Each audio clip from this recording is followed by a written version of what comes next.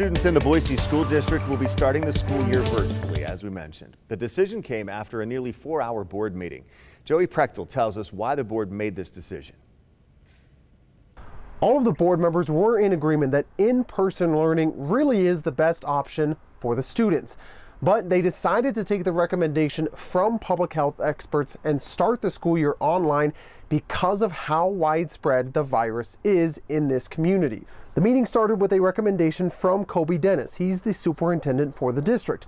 He told the board school should start online and on time on August 17th. He wants to go with this route until at least September 8th. However, it'll really be up to how widespread the virus is and how safe it is to return to school at that time. Now, throughout the meeting, the board listened to testimony from more than 40 people. A majority of them were parents. Here's what some of them had to say.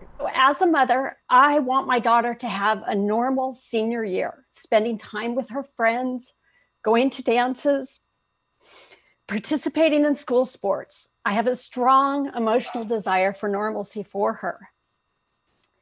I have spent many a sleepless night arguing in my head about my daughter missing out on a normal senior year versus the risk of becoming infected with COVID-19 and perhaps spreading it to a family member and or friends or teachers. I urge the Boise School District to choose a remote fall semester.